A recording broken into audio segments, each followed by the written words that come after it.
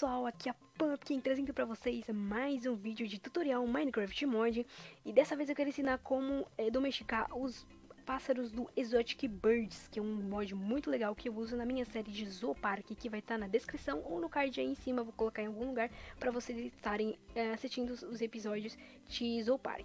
E para quem é novo no canal, já se inscreve para me dar aquela força Então bora pro tutorial. Para começar, a gente tem o pavão, né?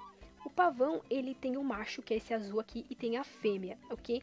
Para nascer ovinho, é só a fêmea que bota ovo, ovo, obviamente. Quando a gente clica com o botão direito e ele já tá aqui, ó, ele abre as asinhas e depois ele fecha. A fêmea não faz isso porque ela não tem a, a, as asas não, aquelas penas ali, né? Aquelas penas bonitas. Quando cair um ovo, vai cair um ovo com 10% de chance de nascer. Vocês podem clicar com o botão direito usando ele. Vamos ver se vai nascer um filhote ver, colocar aqui. Ó, pode nascer o filhotinho, filhotinho amarelinho assim mesmo, tá? E ele vai crescer, a gente não sabe se é macho ou se é fêmea ainda. Porque ele tá um pouquinho assustado porque eu acabei batendo nele sem querer. Às vezes vai sair essa casca de ovo que vocês podem usar uh, nas plantações. Ela serve mais ou menos como se fosse uma farinha de osso. Tá muito alto esses, esses bichos aqui, meu Deus. Tá muito alto.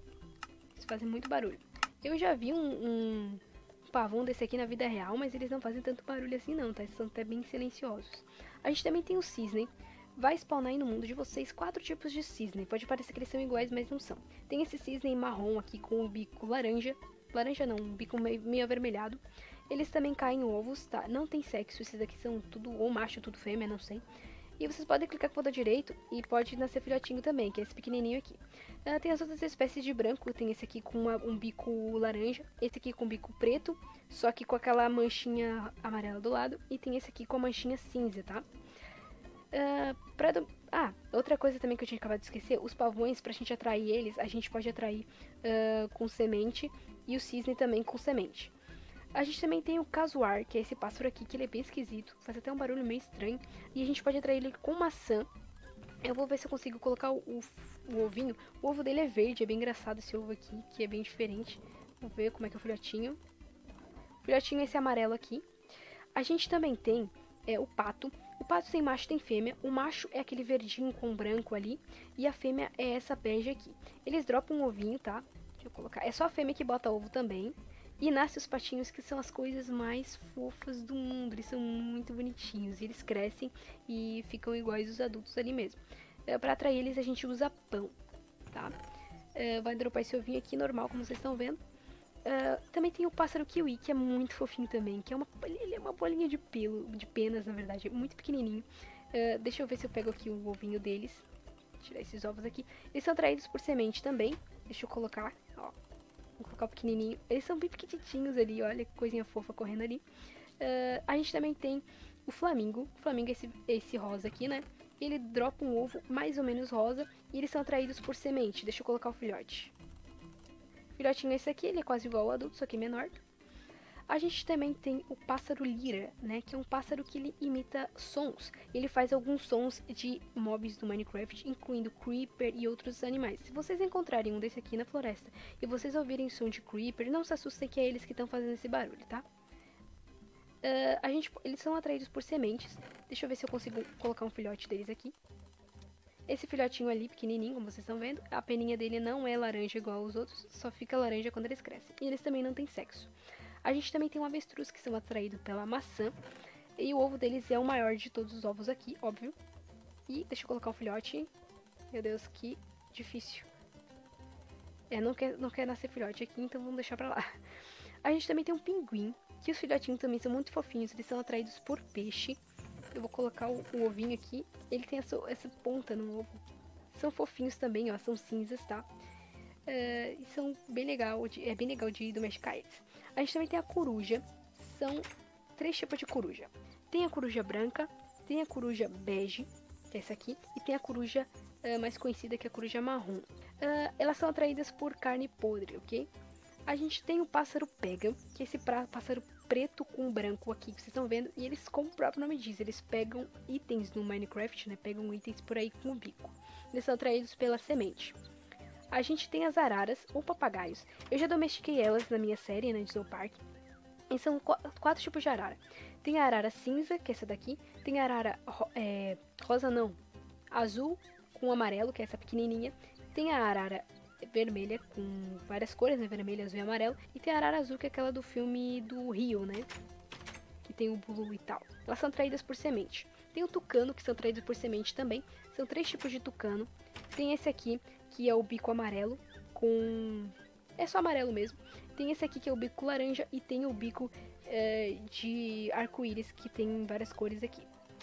A gente também tem o Papaléguas, que é aquele lá do filme mesmo, só que claro, eles não são azuis na vida real. Eles são atraídos uh, por sementes, ok? Esses dali.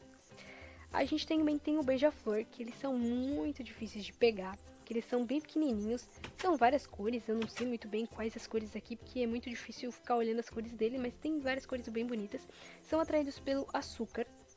A gente também tem o pica-pau, que é esse aqui. São três tipos de pica-pau. Tem o pica-pau verde, tem o pica-pau com essa crista vermelha e tem o pica-pau com a cabeça vermelha, mas sem crista. Eles não podem ser domesticados, tá? eles não podem ser atraídos por nada. Vocês simplesmente vão ter que encontrar ovos por aí. Eu vou ensinar como encontrar os ovos sem precisar ter o mob, né? Tem o pelicano, que é atraído pelo peixe.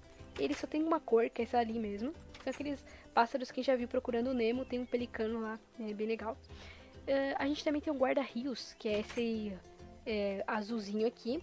Eles não podem ser domesticados também. E eles também carregam peixes no bico, ok? Eles ficam mais perto de rios, é bem fácil de encontrar eles no rio. Tem a gaivota, que ela também não pode ser domesticada, que é essa branca que vocês estão vendo voar aqui. A gente também tem o pombo, que é atraído pelas sementes, que são esses aqui, tem dois tipos. Tem o pombo comum, que é o pombo, a, o pombo branco, né? E tem o pombo cinza, que vocês estão vendo ali. A gente também tem o urubu ou abutre, que é esse aqui, são só uma cor que tem uh, eles são atraídos por qualquer tipo de carne. Eu coloquei aqui essa carne aqui, mas pode ser bife cru, frango cru e carne de porco crua. É esse ovo aqui que vocês estão vendo. A gente também tem o diamante de gold, que é esse pássaro aqui. Eles são fofinhos demais.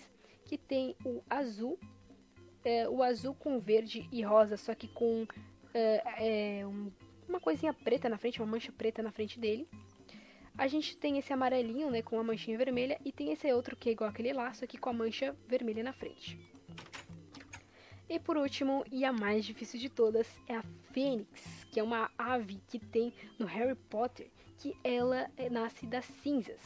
Para domesticar ela, vocês vão ter que pegar um ovo de galinha, vocês vão ter que encontrar em baús raros, tá, no Minecraft, é difícil de achar, ou vocês podem encontrar em ninhos, mas é muito difícil de achar em ninhos. E vocês vão ter que fazer um crafting assim, com o ovo no meio, e vai sair o ovo da fênix. Vocês vão colocar esse ovo em algum lugar, tem que ter algum ponto de luz, tá? Pode ser uma tocha ou qualquer coisa que emita luz. E ela vai demorar um tempo para nascer, não sei quanto tempo que demora, eu vou ter que quebrar aqui, porque eu não vou domesticar ela agora. E vai nascer a fênix aí. Quando ela morrer, ela vai dropar esses, essas cinzas de fênix. Agora tem as coisas mais interessantes aqui, que são os itens, né? A gente tem os ninhos, Ó, ó, escutaram um barulho do, do Creeper aqui? Na verdade, aquele bichinho lá. Aí, nos ninhos a gente vai encontrar os ovos assim. Vocês podem quebrar. Se clicar com o botão direito, vocês vão poder ver os ovos que tem aqui e tudo mais. Uh, pra fazer um ninho também e colocar os ovinhos dentro, vocês podem pegar três gravetos assim e vai fazer um ninho vazio. A gente tem a enciclopédia das aves, que é uma coisa muito legal. Para fazer essa enciclopédia, vocês precisam de uma pena de pavão. Vocês vão ter que matar um pavão. Acho que tem que ser um macho, não me lembro agora. E vou ter que colocar um livro do lado. Bom, aí vocês vão conseguir a enciclopédia das aves. Eu vou pegar uma enciclopédia aqui. Clicando no ponto direito, vocês vão ver aqui, ó. Aqui tá tudo... É, encontrei todas as aves, tá? O legal disso é que vocês, quando vocês pegarem... Esse aqui é a enciclopédia sem eu ter encontrado as aves ainda. Vocês vão clicar com o botão é, de clicar mesmo do mouse. Não é o botão direito, é o botão esquerdo. E vocês vão conseguir... É, marcar aqui, ó. Vocês podem ver que aqui, ó, aqui eu não encontrei Cassowary, né? Que é o casuar. Agora, se eu clicar com o botão esquerdo do mouse no caso War, a gente consegue até algumas experiências, né? E a gente consegue ele. Agora ele vai aparecer aqui para mostrar pra gente. E vocês têm que conseguir em todos os pássaros. Não acontece nada, é só pra vocês estimularem vocês a encontrarem todos os pássaros aqui, ok? A gente também tem o separador de ovos, que no começo eu achei que era para chocar ovo. Não, não é para chocar ovo. Uh, ah, para fazer isso, vocês vão precisar de três vidros, quatro barras de ferro, uma redstone e um balde. Aí vocês vão conseguir o separador de ovos. Para usar o separador de ovos, uh, vocês vão acabar encontrando aí nos ninhos uh, esse ovo com pergunta, que é um ovo não identificado. Vocês não sabem que tipo de ovo que é. Vocês vão colocar esse ovo não identificado em cima, vocês vão colocar redstone embaixo e ele vai fazer, começar a fazer esse efeito aqui que vocês estão vendo. Deixa eu esperar um tempo aqui. São, acho que são três vezes que aparece esse negócio aqui. E vai aparecer aqui, ó. A gente conseguiu um ovo de pombo, mas pode aparecer qualquer tipo de ovo aqui. Ou até casca de ovo mesmo. A gente também tem a pena da fênix, que ela não serve para nada, tá? É só pra encher linguiça, não, não serve pra nada mesmo. E a gente também tem o aumento de chances. Para aumentar a chance de o ovo nascer, vocês vão precisar colocar qualquer ovo, tá? Que vocês encontrarem e um pó de blaze. Cada vez que vocês colocam o pó de blaze, vocês aumentam uma chance de melhorar. Por exemplo, tá em 10% de chance de ovo de pinguim aqui. Se eu colocar um pó de blaze, vai aumentar para 30. Agora, se eu pegar esse de 30 e colocar pó de blaze novamente, ele vai aumentar para 50. A chance de nascer um, um pinguinzinho aqui é bem maior. A gente também tem as carnes das aves. Quando a gente mata elas, elas dropam dois tipos de ave. As aves grandes, como por exemplo o avestruz e os outros, as outras aves, vão deixar cair a ave grande crua, que no caso é essa daqui. E os pequenininhos, tipo pombo e outros uh, pássaros pequenos, vocês vão conseguir a, a carne pequena. É uma coisa que dá pra fazer aqui, a gente pode assar elas, tá? Igual a carne de normal aqui. E vocês vão conseguir aí um alimento a mais para vocês. É claro que é um pouco de maldade matar os bichinhos aqui, mas vocês que escolhem se vocês querem comer eles ou não. Bom, pessoal, era isso que eu queria estar ensinando pra vocês hoje. Espero que vocês tenham gostado. E se gostaram, já deixa um like e ative as notificações, assim você não vai perder nenhum vídeo. E, por favor, me segue nas redes sociais que vão estar aí na descrição. Eu vou ficando por aqui. Até a próxima. Tchau!